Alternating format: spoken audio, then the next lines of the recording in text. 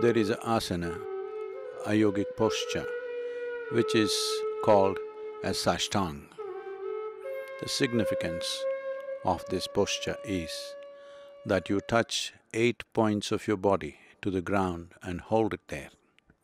In this posture, the lung, particularly the lung, functions in a certain way, there are various aspects to it, but we are talking about enhancing oxygen levels in the system.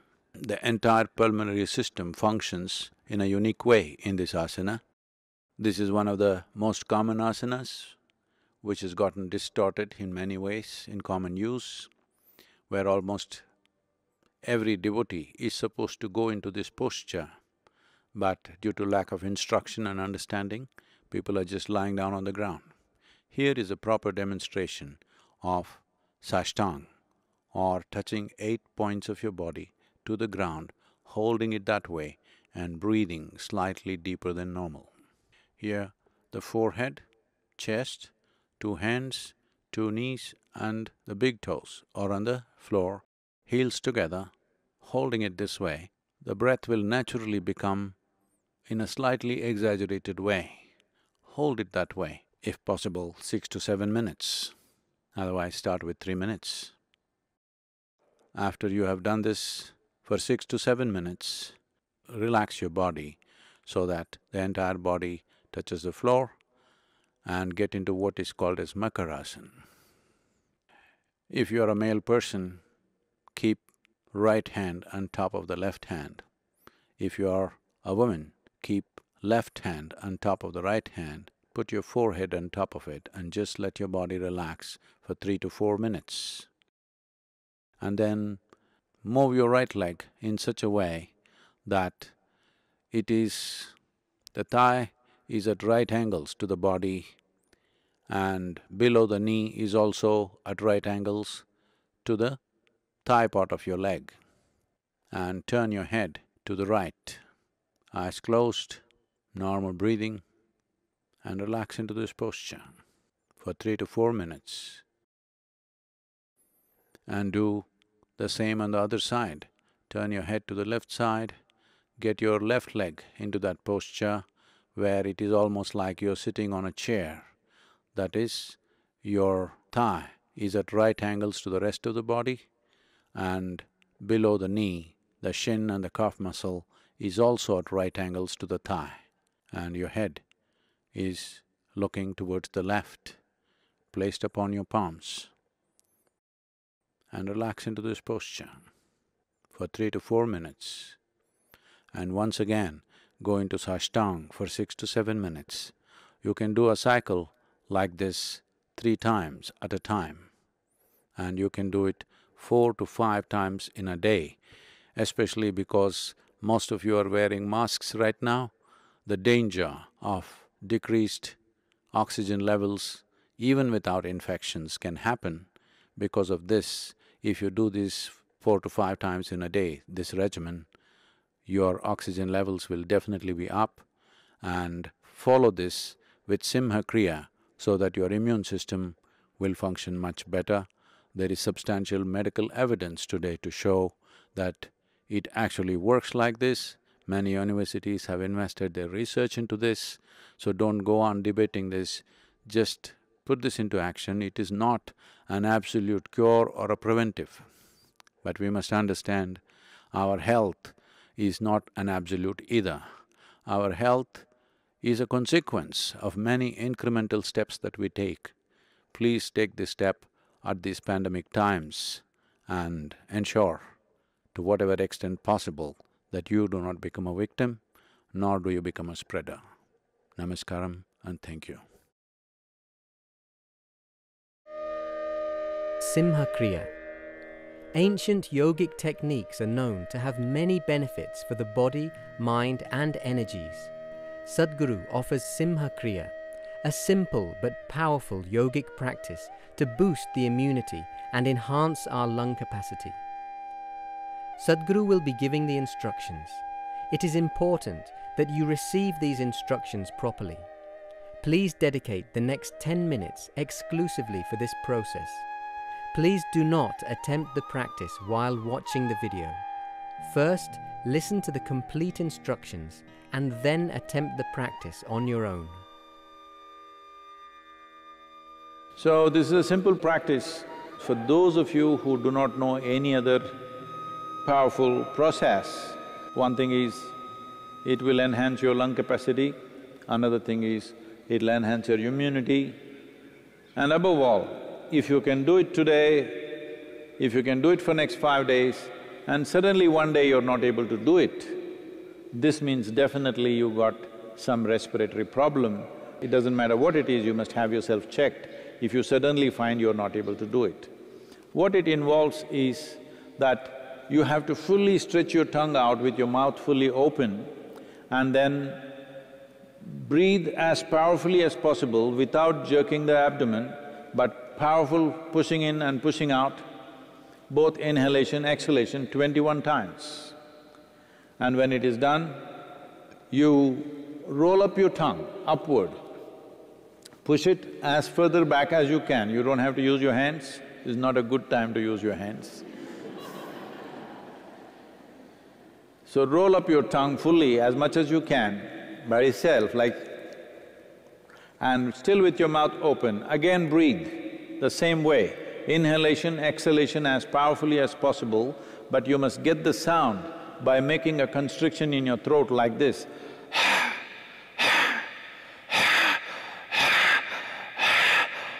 The sound must be there, it's important that you make… form a constriction at the throat, at the pit of your throat and make the sound and inhalation, exhalation, fully exhaling, fully inhaling as powerfully as you can, but without jerking the abdomen, another twenty-one times with the tongue rolled up. Throughout the whole process, you have your eyes closed, you inhale fully, you inhale fully and simply sit there with the fullness of breath for one minute. If you are beyond a certain age or your breathing is not that good, at least thirty seconds. If you're not able to do one minute, a minimum of thirty seconds you stay there. When the day you're not able to do it, you must understand that there is some problem with your respiratory system and you must go for a checkup. Right now, I want you to just observe, don't do it, just observe and uh, I will tell you how to go about the process.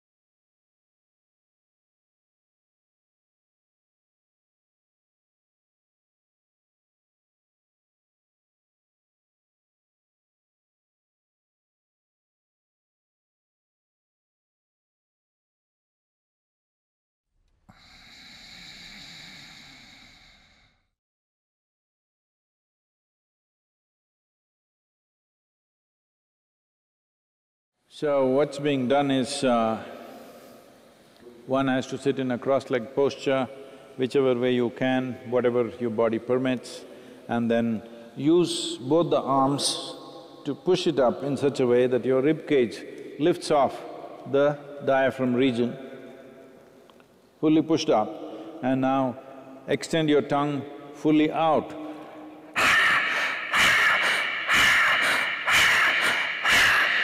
Like this twenty-one times. When it's done,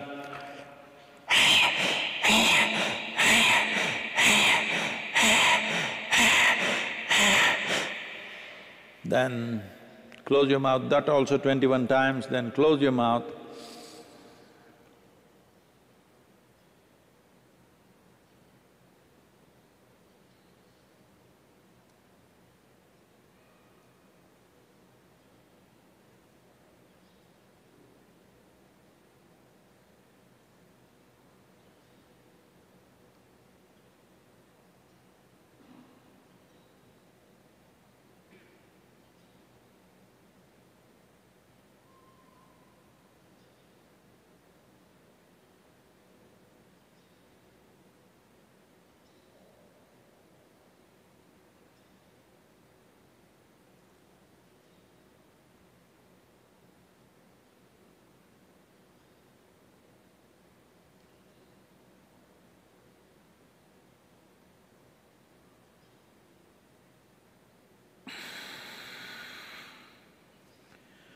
You exhale with your mouth closed, making the sound at the pit of your throat by creating a constriction.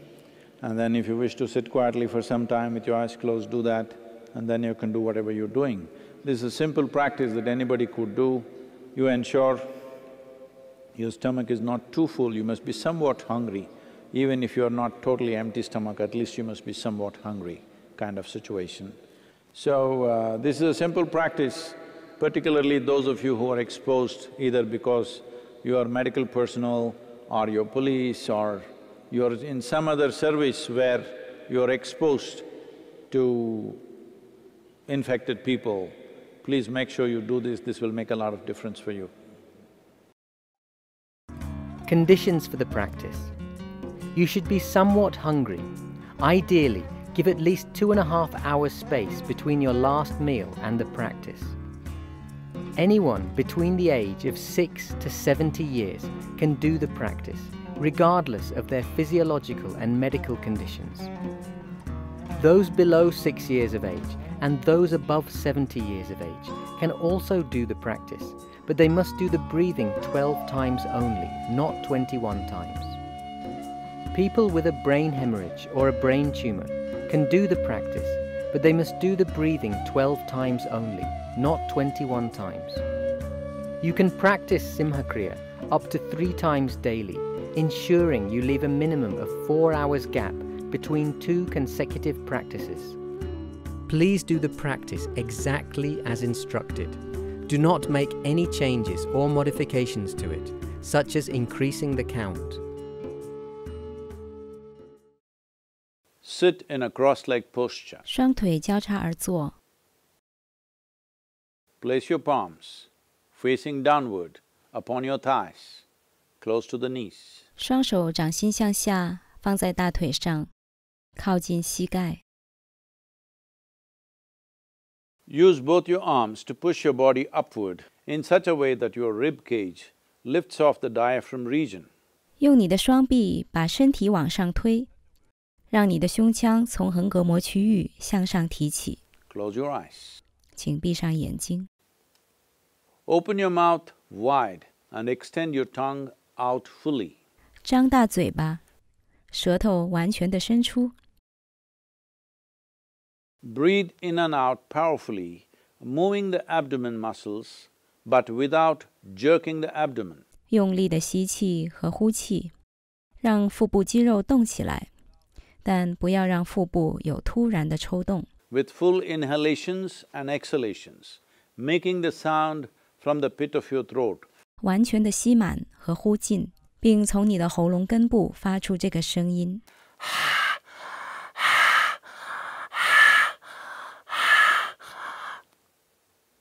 Do this twenty-one times. 这样做二十一次。If you happen to be over sixty years of age, do it twelve times only.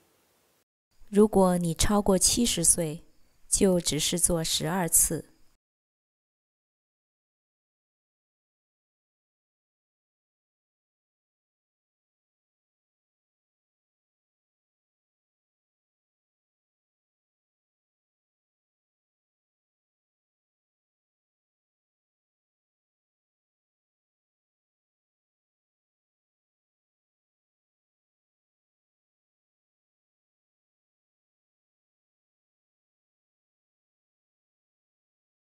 roll your tongue upwards, push it as far back as you can towards the uvula. 把你的舌头向上卷起，尽量向后靠近小舌。With an open mouth, breathe the same way, inhalation and exhalation as powerfully as possible, making the sound from the pit of your throat. 张大嘴巴，以同样的方式 进行呼吸，也就是尽量用力的一吸一呼，并从喉咙根部发出那个声音。Do this twenty-one times or twelve times if you happen to be over sixty years of age. 这样做二十一次，或者如果你超过七十岁，就只是做十二次。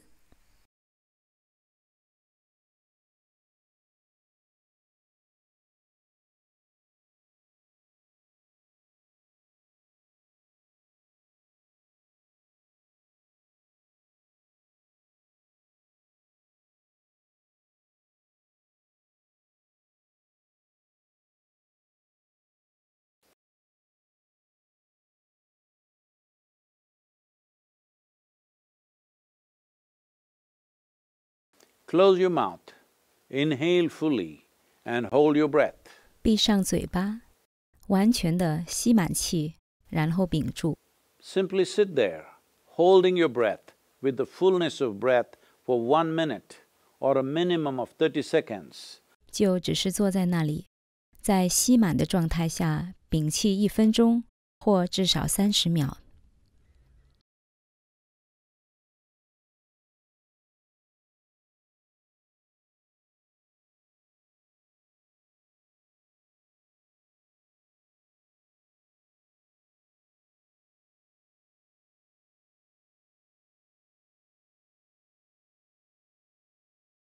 Hold your breath as long as it's comfortable for you. 你能舒适的屏住多久，就屏住多久。 When you feel like exhalation, exhale through the nostrils with your mouth closed, making the sound at the pit of your throat. 当你想要呼气时，保持嘴巴闭着，从鼻孔呼气，同时从喉咙根部发出那个声音。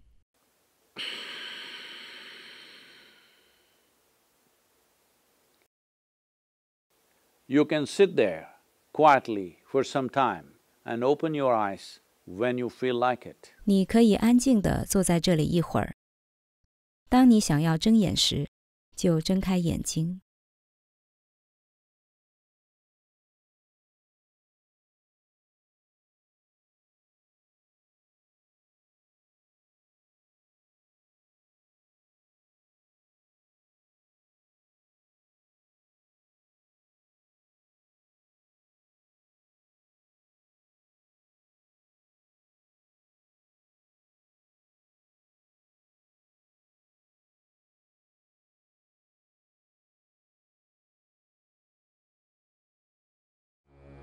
Mm-hmm.